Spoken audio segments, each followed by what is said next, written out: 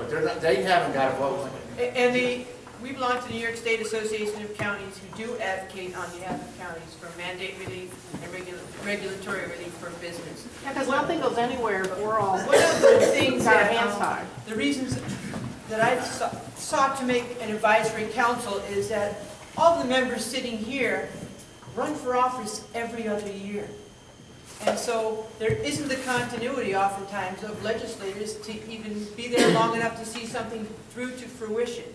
So I think it's important that we develop a plan, a five-year plan, a comprehensive plan that sets that roadmap for every new person coming in. This is where we're going. We don't start all over again every two years.